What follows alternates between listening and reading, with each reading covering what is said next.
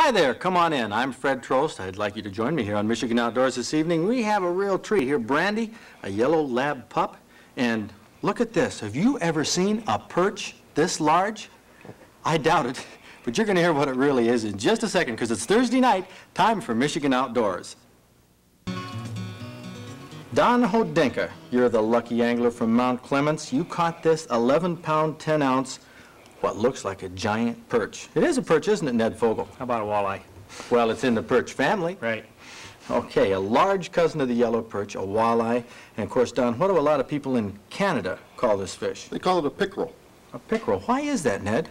Well, they call it a pickerel. Some of them call it a walleyed pike. A lot of people evidently think this looks, this fish looks a lot like the pike, but of course they're no relation at all. Of course. separate families. The walleye refers to its eyeballs, which are a little different than the average Right. fish. It's it's the difference in makeup of the rods and cones in the back of the eye, which uh, enables the walleye to see well in very dim light conditions, and this gives it that opaqueness that it has. Uh, well, Don, what's the story on this fish? How and where and when did you catch it? I caught this fish on uh, November 29th in Lake St. Clair off the Dauphine Channel. November 29th? What are you, crazy? Fishing at the end of November? Well, usually this is the best time to catch big fish like this. Is We that right? fish November and it's very hot. Your fishing technique is rather interesting. It is not a rod and reel technique. It's more or less a reel technique with some heavy uh, wire line, and you ran off of this line with a big sinker, a Rapala. Little teeny lure like that. Is this the best lure that you find for catching uh, walleye? We use the Rapala usually in early spring and late fall. Okay, and the Rapala resembles a minnow, right, Ned? You know, and I think that's probably why it's one of the an excellent bait for the walleye. Well, you have a quite a heavy sinker on this, Don, for fishing in the Detroit River where the current is fairly stiff. Do you fish right on the bottom or how far off the bottom? We fish right on the bottom. Uh, usually we use a 40-foot leader and a 20-foot leader when it's usually uh, 6 inches, 4 inches off the bottom.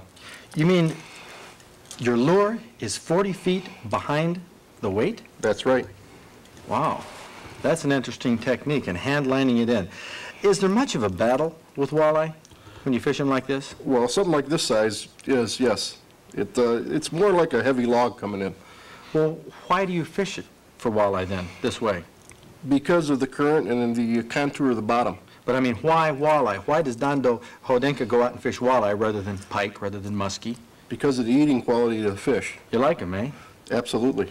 Fishermen like walleye too, don't they, Ned? We have an awful lot in this state.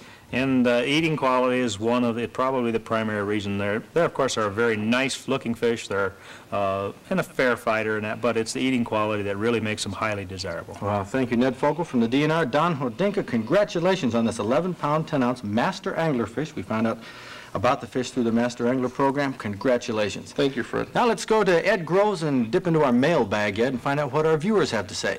Well, Fred, we got a lot of mail about Tom Washington and his proposal to extend and split the deer season. From Steve Thompson of Charlotte, I don't agree with it at all. Seasons for hunting deer and small game are already confusing. Solution? Raise the bag limit to two or three per license, buck or doe, but the same season. Bob Gladys from Cooks says the reasoning is sound and long overdue. The greatest obstacle to overcome will be the biologist, director, and the DNR commission. Let's encourage a break with tradition. Please do what you can for change. We pay enough on licenses to voice our views. And from Dale Odgers of Hancock, I know for a fact that the people in Upper Michigan, especially in the copper country, will want it to stay just the way it is. Forget the doe permits. There are enough poachers that will take care of enough does as it is. And Howard Shook from Sidnaw. In the first place, I don't have much use for the MUCC since they led the fight to outlaw the bounty on coyotes. By the way, whatever happened to the thousands of dollars the DNR was going to save by not paying bounties? And that's it from our mailbag. Well, some pretty good questions and good comments. Some people say they don't have much use for the MUCC. We have two MUCC staffers right here, Wayne Schmidt and uh, Tim Eder, and we're going to illustrate an issue right now because of the controversies. MUCC is an organization, association of 430 sportsmen's clubs. So when they vote on an issue like snagging, which was a controversy, some of the clubs are pro, some are con, and it isn't a cut and dried issue by any means. Now snagging is where people use hooks like this to toss out into a river to what's called foul hook a salmon, hook them in the body, rather than enticing them to hit with a lure or a bait. And snagging is, is quite a controversy, so for the purposes here of our discussion, Wayne, you're going to take the which side? The pro snagging side. Pro snagging, Tim, you take the anti-snagging. Let's start out with the first question here. Does snagging attract rowdy and unsportsmanlike conduct?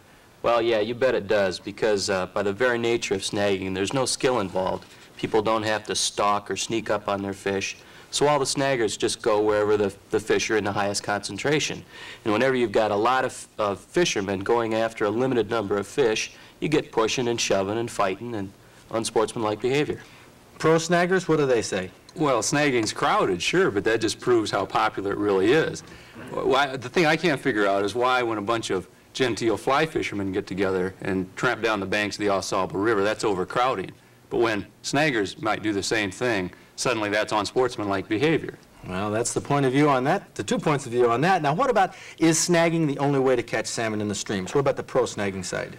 People catch salmon and other fish in all sorts of different ways, some more effective than others. But yes, Fred, when those fish enter the rivers, they quit feeding, they head upstream to spawn, and they die, and that's it. And on many rivers, snagging is the only way to harvest the bulk of those fish.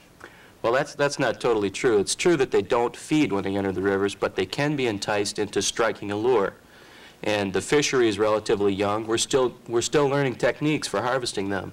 And as we learn more and more about the techniques and about the fish, we'll become more proficient. Why can't snaggers learn to fish uh, conventional techniques? Those are the two points of view on that. What, why not utilize these salmon? They're going to die anyway. Well, just because we don't snag them, that doesn't mean that, th that we won't utilize them. As we become more proficient, we will take the bulk of the fish. And it's not like they're just going to go to waste anyway. The fish do reproduce. And in Michigan streams where they have been planted, the Chinook are reproducing. What do you think about that for pro snagging point of view? This is a planted fishery. The natural reproduction is just a drop in the bucket. And you have to remember that in four out of five of the rivers that were open to snagging this year, there are dams blocking those fish's migration. They hit those dams, they're blocked, and they die.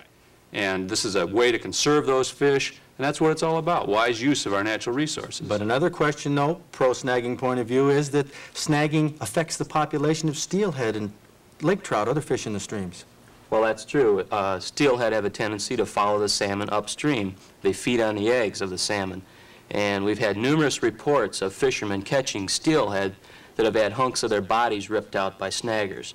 And snagging also blocks the upstream migration of, of trout and, uh, and salmon just by the nature of the thrashing around in the water. Now, the incidental take of other species is really insignificant. And I just can't believe that these Pacific Coast salmon that are programmed by nature to swim 2,000 miles up the Continental Divide to spawn are going to get blocked by a bunch of fishing lines in the water. Okay, then there's the question of, of is money going to be lost by localities and by the sport fishing industry if we outlaw snagging? And of course, the pro snaggers say, oh, yes, because we're not going to go to Ludington and those places. Anti-snaggers say, oh, no, because the fishermen will develop and go other places and fish legally. But it boils down to one ethical question. Is snagging an unsportsmanlike, unethical way of catching fish? What do you say, anti-snagging point of view?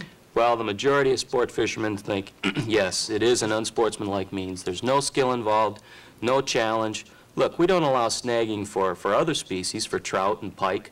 Why does the salmon deserve any less respect as a game fish?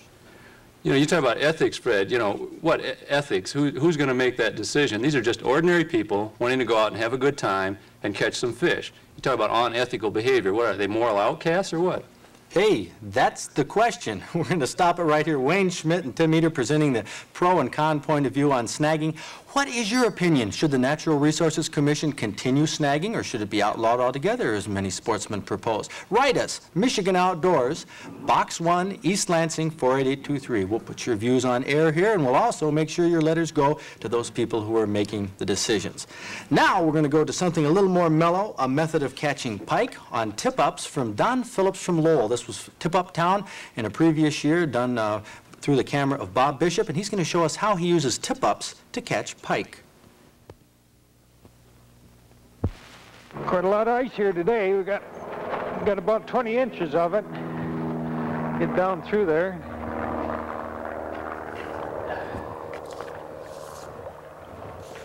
Get the slush out of the hole here.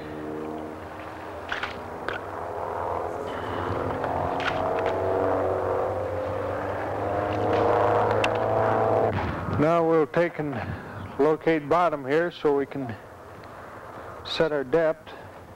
Dan uses a standard ice fisherman's clip-on weight to get his hook to the bottom quickly. He wants to fish off the bottom a few feet, and he uses this weight just to test the depth.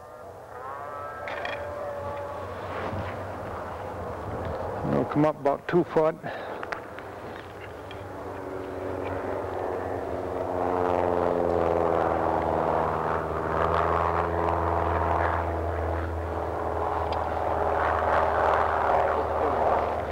We're winding it up there, so we're set just about two foot off the bottom. Now we'll set the tip up here so we don't lose the, our depth.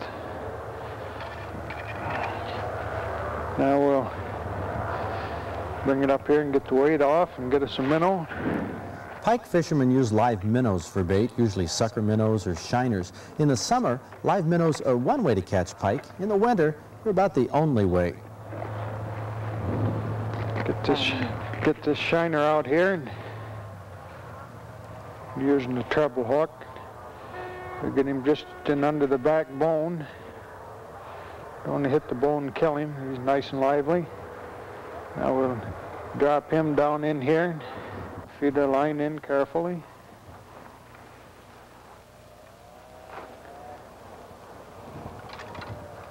That's what happens when the fish hits. Now set it down in and wait for the fish to come along and set it off so we can come and get him. Let's go over and check one of the other tip-ups that we've got set and we will clean that and get the ice out. A lot of people seem to be concerned about the snowmobile noise, but really doesn't seem to bother them up here too much, despite being in the shallow water. You've got to keep the ice out of the holes and keep them clean periodically, or else they freeze up and they won't work. And we check and make sure our minnow is We'll check and make sure our minnow here is live.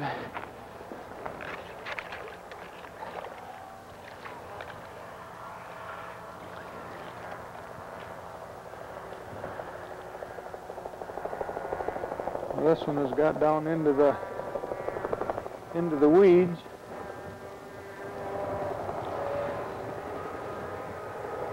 So we have to bring it up and get the weeds off. I'll bring it up just a little farther off the bottom so he doesn't get back into them. I'm fishing right over a weed bed here. Because the, uh, the pike prefer to be right around the weed bed here because this is where the minnows and stuff congregate in. Now in here we have a, a treble hook with a steel leader when the pike grabs these, you'll get the minnow end the hook all the way in the mouth. And if you do not have the steel leader on here, if you just got the nylon like up here, he's going to cut through on the sharp piece. So we get the leader on here, just small one. It doesn't have to be too long. And use just a light weight up above. Use too heavy a weight when the pike trips this, the weight will drop right down in front of him and is going to scare him. So use just enough to keep your minnow down. Set it back in so the wind won't tip it over.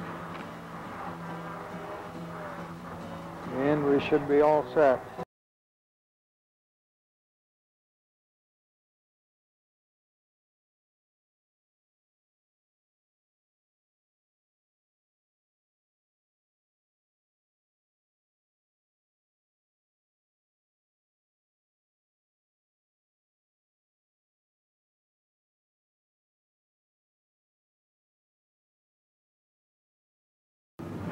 Run a little bit. Yep, there he is. Just a little bit small. Well, 14 inches. Now if we can get the hook out of him. Ouch.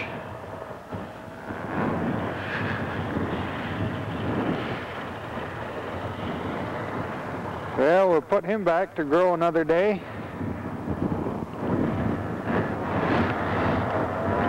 Well, he'll be bigger one of these days. Now we'll have to get her minnow and start all over. Tip-up fishing is usually done from a shanty. Obviously, the tip-ups are outside, but fishermen and fisherwomen seem to prefer a warm place to sit and watch for tip-up flags to pop up and wave in the breeze.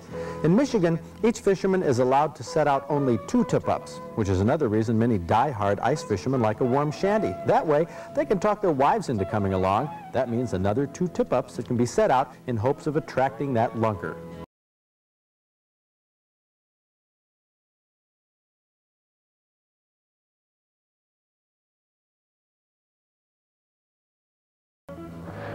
Pretty good today. We got these four northerns. We got this one here about 9 o'clock this morning. That's 28 inches.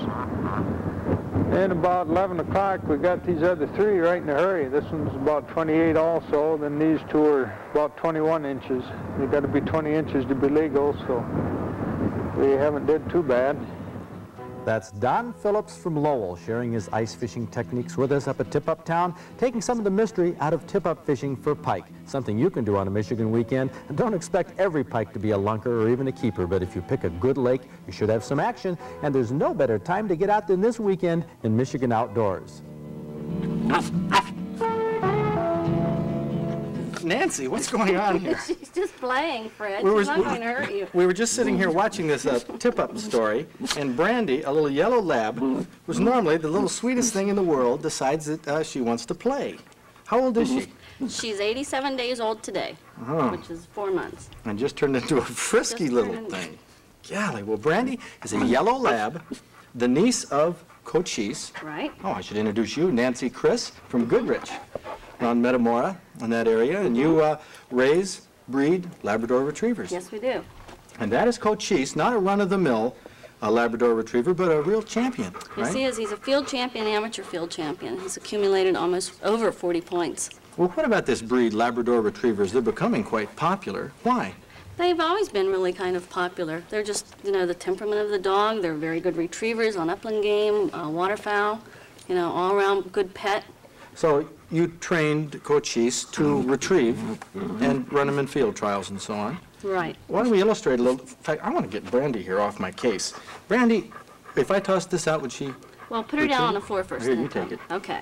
Okay, Brandy, we're going to try to work off some of this vinegar. Hey, Brandy. Hey, hey, hey, hey. Ho, ho, ho. Oh, what a good girl. And look at that. She brings it right back. That's the way a retriever's supposed to work. Why don't you hold that sock in your mouth for a bit? Yeah, I'd appreciate that, chewing that.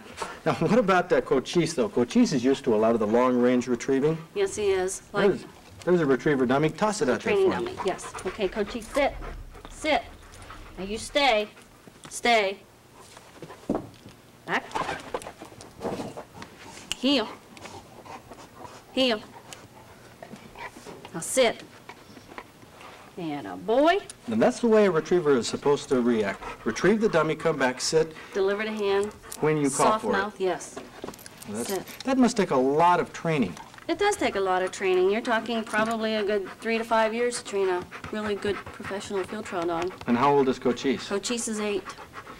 Do you keep Cochise in the house? We do now, you know, periodically when he's being trained, he stays out in the kennel, but now he's earned a good rest in the house. Is it okay to keep a hunting dog in the house from your point of view? I think it is. It depends on the dog and the personality of the people who have it. I think it's a good idea to keep them in the house. Well, Labradors uh, are generally docile dogs. You don't see them used as guard dogs and, and things like No, you that. don't. They use them a lot for leader dogs and that type of thing, but they're, they're just a very good all-around house pet. Now, you have trained Cochise to operate by hand signals, right? Isn't that what really makes the, the champions? It does. They have to know how to handle, you know, sit on the whistle, take left cast, right cast, backs, and that type of thing. And sometimes the blinds, which are hidden birds out in a field with changes of cover, ditches, and that type of thing, are around 300 yards long. So that dog will go 300 yards, come back, look at you, you give the signal, and he goes and finds the bird. Right. Well, quite a talented dog, and Brenda, you're talented too. Uh, These dogs are sometimes, not usually used for hunting quail and grouse and pheasants, right? Well, they are used for hunting uh, grouse and pheasants.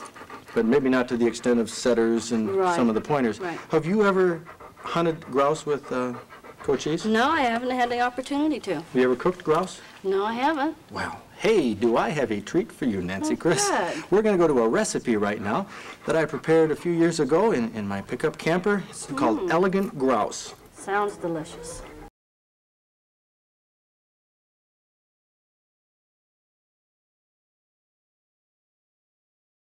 So here we go inside the camper. You know, it's amazing, Nancy, the, the things that you can cook over a campfire, out of a hunting camp up north, or, uh, you know, wherever. Pick up campers, trailers. All you need is a few basic ingredients for this recipe, called elegant grouse. Need some pepper, some garlic salt, uh, need some sour cream, uh, and some flour, which we already got, some fresh mushrooms to put on top. And we'll need a little bit of wine as well. We put the rice on the side, some mushroom soup, a can of mushroom soup. Of course, that wine, if you read the label, you can be real patriotic here to Michigan Outdoors and use some Michigan wine. The only kind to use. So what we have to do is get the grouse. You know, I got the rest of the recipe together. So what do you do, Nancy, if you're, uh, if you're up in the North Woods or, or anywhere and you want a pizza? Well, you usually call out for a pizza. That's right. So logically, what would you do for a grouse if you didn't have it? Well, I guess if you hadn't shot it, you'd probably have to call out for Sure, it. call out. Go. You're probably wondering where I called. I certainly Well, you're probably going to wonder when you see it delivered, too. But back to the recipe here. We take the sour cream, about a half pint of sour cream, put it in a mixing bowl, and then we'll take uh, four tablespoons of flour. Uh, one, two, three, four, and you mix this together. And this is uh, the basis for the sauce we're going to make to put over the meat. By the way, you don't need grouse particularly. You could probably use it with pheasant, although it's good with the white-meated birds. You know, grouse, quail, chicken breasts, boneless chicken breasts are excellent with this recipe. Now for the wine. Oh, right, the best part. You should try to pour most of it into the cup and into the recipe. Mm-hmm. Of course, but we'll take a cup of white wine, put it in here, and uh, add a can of mushroom soup. So it's very simple, right? Very simple, sounds very good. Those are, those are the basic ingredients, except for, uh, of course, our garlic, salt, and pepper, but doggone it, you know, I gotta have the grouse. Yes, you do. Gotta call back and find out what is the holdup here. I have an important recipe. Uh, this show is only 28 minutes, 46 seconds long, and we gotta get the grouse here right away. So we'll put the mushroom soup in here, and I, they told me that the grouse is on its way. It should be here any minute. But not to be disappointed if it wasn't grouse. I don't know. I tell you, these, some of these backwoods delivery services. You make it some-. Sometimes you wonder. But we put the salt, or the garlic salt and the black pepper in there and stir it around to a creamy consistency. Looks good. Now the delivery boy. Oh, boy, I said, uh, maybe I'm getting a pizza. I don't know what's coming now. But I guess he's doing his best. Where did you call this guy from? I don't think I'm going to give him any more business. You know, I'd give you the number, Nancy, really, but I don't think it deserves any more business. But here he is, conscientious on the job, and uh, I just wonder what we're going to get.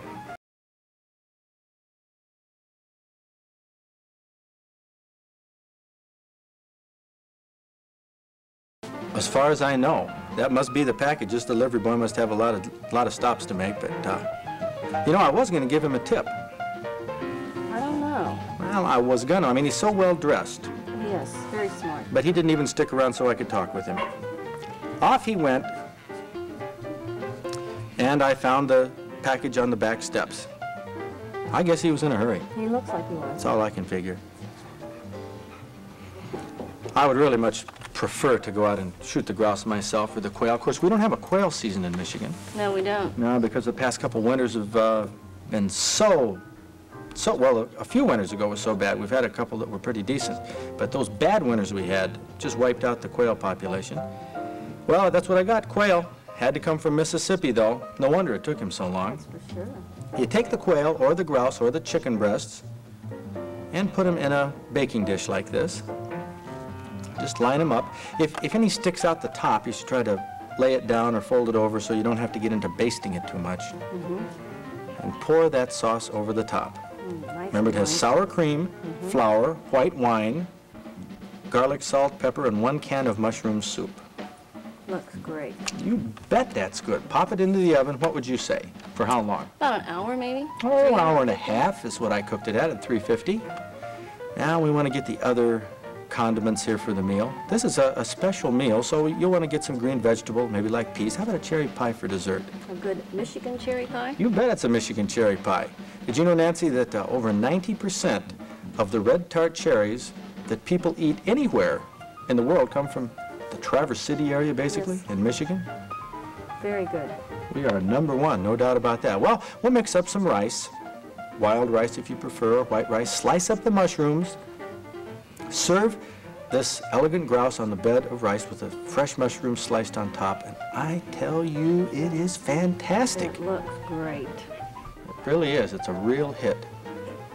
And you don't have to worry about the, the small bones, say in something like a quail, although it's nice to serve boneless meat this way, but uh, cooked in that manner, that moist method of cooking, just uh, so tender, comes right off the bone. You noticed I had to dress up a little bit. You do look nice. I love the tie. What about the lack of a stash? I miss that. I Do like you? the stash, Well- yes. Well, thank you, Nancy. What about the lack of hair? Oh, I nowadays. think your hair's great.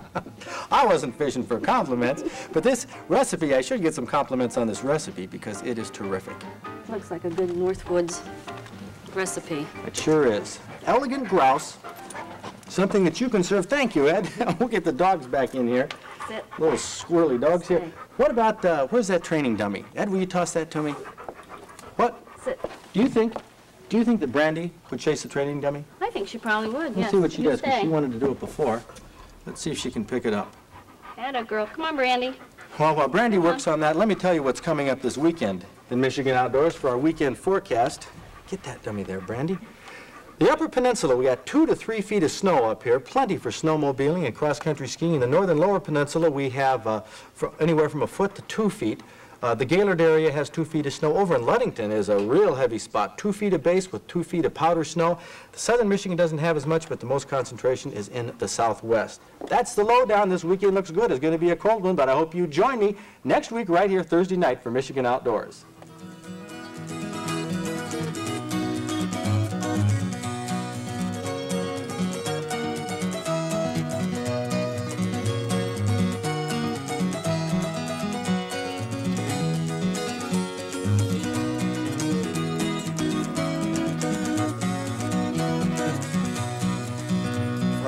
Rugged shore and woodlands of the north, its history of copper mines and iron ore, the Great Lakes fisheries. To the farmlands of the southern counties, we'll look around again, and all that waits the sportsman in the state of Michigan. And sometimes when the moon brings out the diamonds in the snow, and the stillness of the forest lies encased in Arctic cold, the wind might whisper through the trees, listen if you can, tells you of the beauty in the state of Michigan.